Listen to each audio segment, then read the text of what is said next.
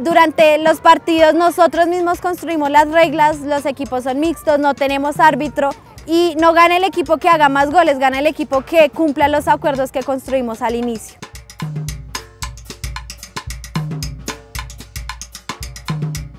Mi nombre es Maleja Rivera, soy líder comunitaria en la Fundación Tiempo de Juego.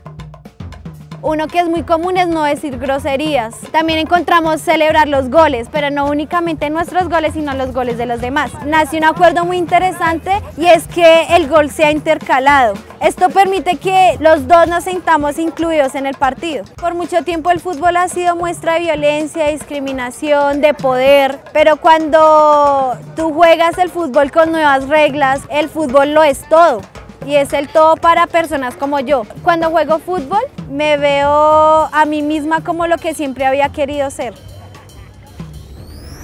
BBC Minute.